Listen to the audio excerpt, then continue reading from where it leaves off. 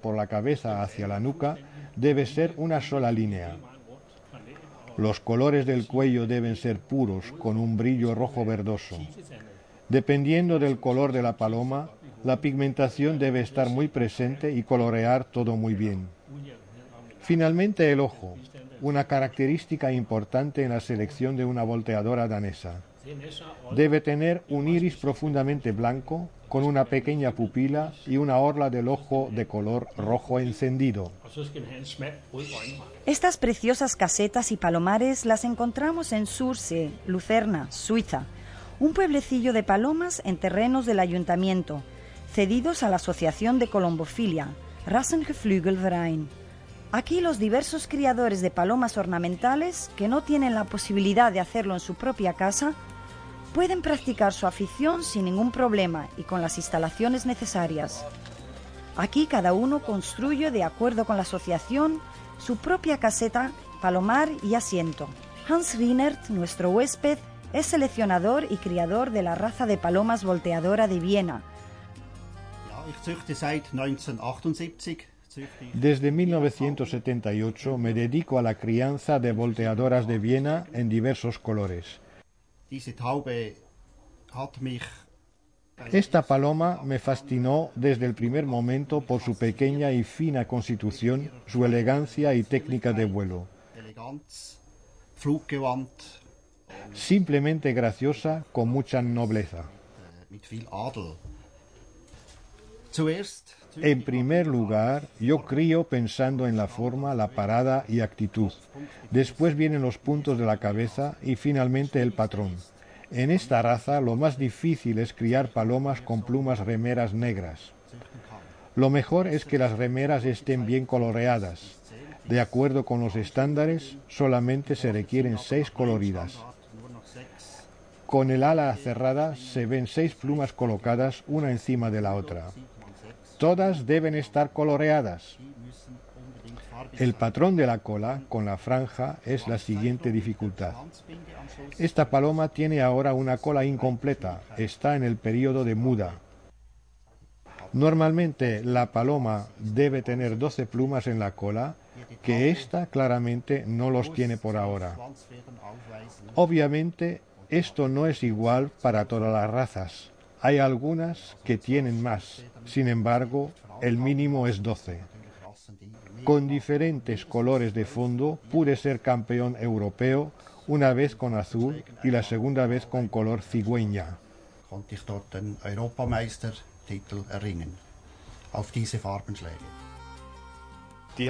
Las palomas monjas alemanas descienden de las palomas de vuelo de Hamburgo y son muy apreciadas en Alemania. La primera impresión es decisiva. Tienen una forma rechoncha. Después la cabeza. Una frente amplia y un pico bien implantado. Naturalmente, los bellos ojos y el patrón deben ser puros. Nuestras palomas siempre deben ir bien acicaladas a las exposiciones. Entre las palomas volteadoras tenemos varias razas. Sin embargo, ¿son dignas de llevar este nombre? En otras palabras, ¿hacen volteretas mientras vuelan?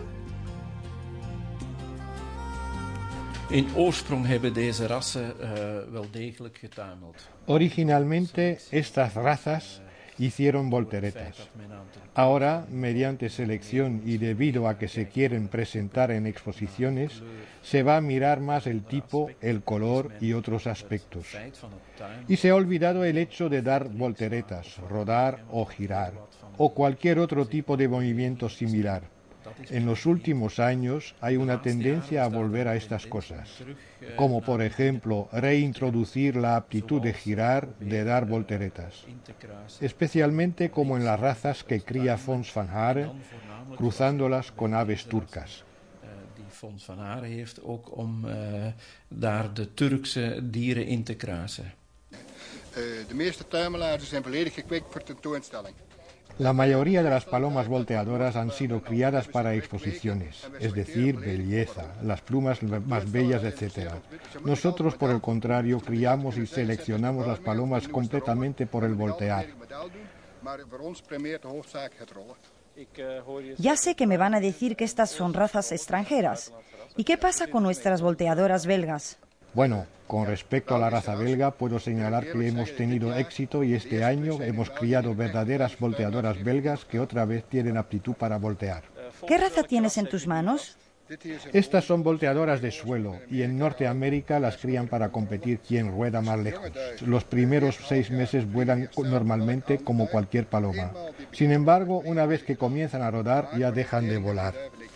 Con respecto a la capacidad de orientación, estas palomas no la tienen en absoluto. Una vez que están en el techo, se pierden.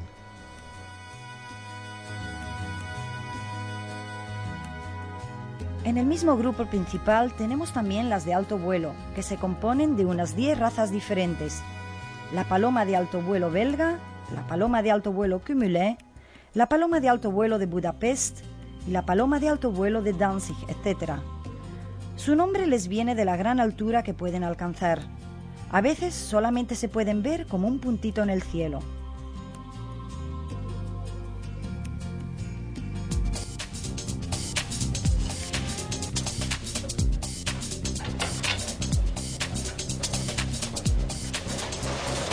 Varios de los aficionados famosos que han participado en esta película le adjudican mucha importancia a la alimentación.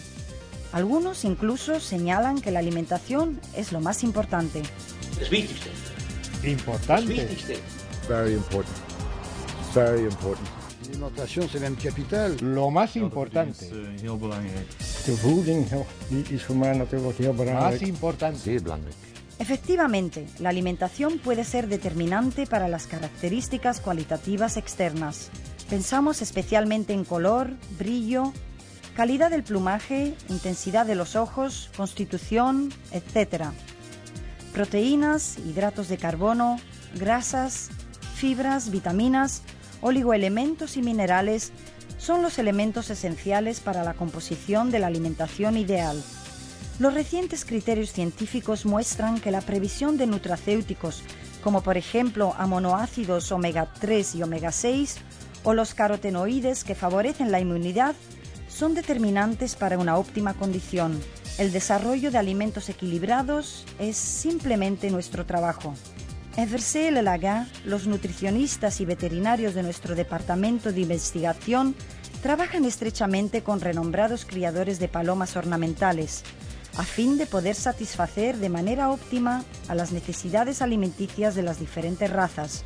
Especialmente en los últimos 10 años, la ciencia ha ocupado un lugar que no hay que subestimar en la alimentación de las palomas. Actuando cada vez mejor, con más eficacia y mayor dedicación, Versailles Laga se ha convertido en líder absoluto en el mercado de alimentos para palomas. Después de los éxitos realmente grandes de las mezclas Plus y C en la colombofilia, hace dos años, Versailles Laga logró notables éxitos en el mundo de las palomas ornamentales, como por ejemplo mejorar la condición física, la formación de pigmentos y una clara mejoría en la estructura del plumaje. Know-how más ciencia más calidad es éxito.